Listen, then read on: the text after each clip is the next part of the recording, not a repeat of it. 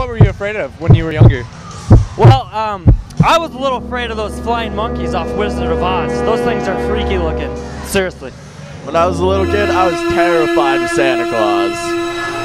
I'm still scared of clowns to this day. I wasn't scared of anything. I was scared of spiders. When I was younger, I was scared of fish, and still is. when I was younger, I was always scared of uh, spiders. I don't know why, I just always have been. When I was younger, I was always afraid of the boogeyman. When I was younger, I was always afraid of things under my bed. When I was little, I was scared of spiders. Spiders.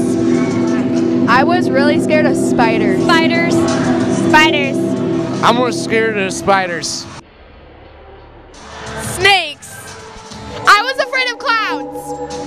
Definitely afraid of clowns till still to this day. I was afraid of the dark.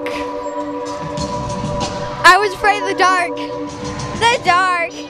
What were you scared of when you were younger?